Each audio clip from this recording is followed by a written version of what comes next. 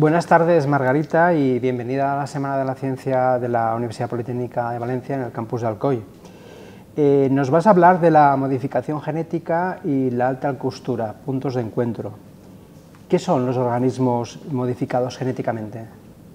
Bueno, en la conferencia de hoy vamos a dar una visión eh, amplia de los organismos modificados genéticamente y este tipo de modificaciones incluirían tanto cuando añadimos nuevos genes que no están presentes en el organismo, eh, también cuando eliminamos genes propios para generar lo que se conoce como organismos knockout, que son deficientes en algún gen, y luego cuando se realizan modificaciones concretas en genes del organismo. Y es muy importante que estas modificaciones sean eh, permanentes y además que se transmitan a la descendencia, para que podamos hablar de un organismo modificado genéticamente como tal. ¿Y cuáles serían las aplicaciones de la biotecnología animal?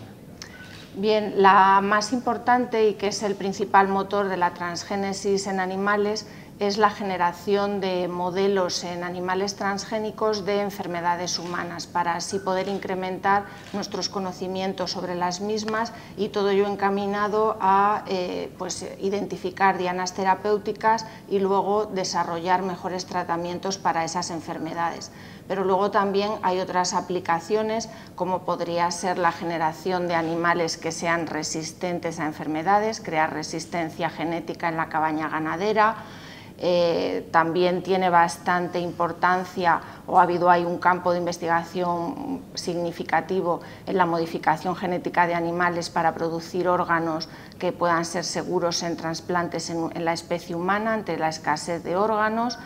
Y eh, bueno, la principal aplicación o la inicial aplicación de estas metodologías fue la producción de proteínas de interés terapéutico en animales de granja, por ejemplo en la leche, que es una forma, un bioredactor en el cual tú puedes obtener grandes cantidades de proteína.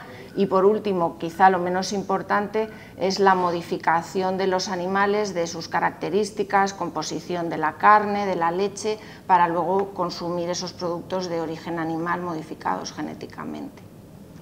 Margarita, ¿es cierto que con la ingeniería genética se pierde biodiversidad en las especies? Bueno, ahí digamos que hay que considerar eh, un, doble, un doble aspecto. Si tú estás introduciendo una característica en la cabaña ganadera y la extiendes, la fijas a nivel de toda la población, sí que estarías perdiendo biodiversidad, pero esa pérdida de biodiversidad o de fijación de características importantes en las poblaciones animales, el hombre la lleva haciendo desde que empezó a domesticarlos. Y por otro lado, eh, cuando tú introduces en los animales rasgos que no estaban presentes, pues por ejemplo la resistencia a una infección, en ese caso, pues eh, esa ese juego que tú estás haciendo frente a la biodiversidad, pues sería con un fin positivo. ¿Y cómo se generan estos animales o plantas transgénicos? Bien, eh, las metodologías son un poco diferentes según se trate de animales o plantas. En la conferencia yo me voy a centrar en animales, que es el tema en el que yo trabajo y eh, pues existen unas metodologías que podríamos llamar clásicas con las que se generaron los primeros animales en la década de los años 80, eh, como consisten en la inyección directa del DNA que queremos introducir pues, en el cigoto o en eh, primeros estadios embrionarios. También se pueden modificar células de animales de granja que luego se utilizan en clonación para generar animales transgénicos y eh, bueno, pues más recientemente hay otra serie de metodologías que han ido surgiendo y que mencionaremos un poco en, la charla. ¿Y qué ha supuesto la técnica CRISPR, cuyo descubridor es Francisco Martínez Mójica, de la Universidad de Alicante. Precisamente a esas metodologías me estaba refiriendo, que son las mm. más recientes, las tecnologías de edición génica y eh, CRISPR, la tecnología de CRISPR está suponiendo una auténtica revolución en el campo de la modificación genética, tanto lo que es a nivel de los laboratorios como modificación de plantas, animales, y eh, bueno, pues eh, yo creo que todavía no, estamos casi más que empezando a ver la punta del iceberg de lo que va a suponer eh, esta técnica y por supuesto todos los investigadores estamos muy orgullosos de que haya un español eh, ahí entre los descubridores de, esta técnica. Bueno, español y alicantino, ¿no? además. Bueno, yo eh, sé que esta pregunta siempre es difícil ¿no? para un investigador, pero te la tengo que hacer. ¿no? ¿Es ético experimentar con la vida animal o de las plantas?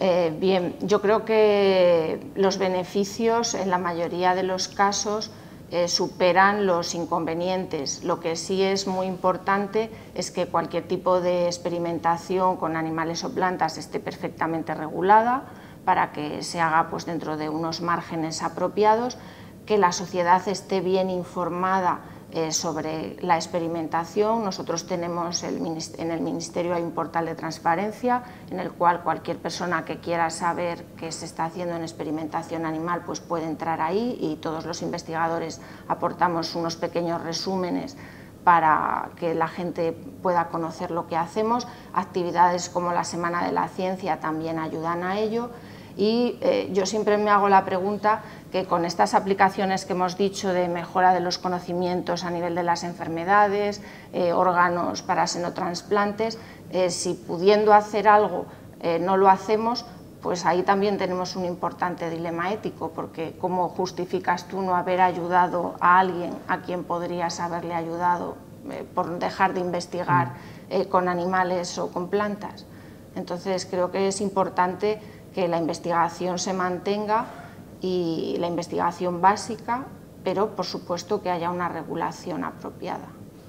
Bueno, y por último, ¿qué puntos de encuentro eh, podría haber entre un ratón transgénico y un diseño de alta costura? Bueno, pues eh, vamos a ir hablando un poco de cómo muchas de las herramientas que utilizamos en modificación genética pues podrían parecerse a herramientas que se utilizan eh, para la costura, pues unas tijeras, eh, unos imperdibles, eh, voy a hacer un paralelismo entre cuáles serían las diferentes telas pues con los, materiales biológicos que se utilizan en modificación genética y desde luego está claro que hay algunos modelos animales que son eh, diseños de alta costura y presentaremos pues algún caso de, modelos animales muy muy sofisticados que realmente eh, aparte de ser muy valiosos son extremadamente bellos. Muchas gracias, Margarita, y suerte en las, diferentes investigaciones. Muchas gracias y gracias a la Semana de la Ciencia por invitarme.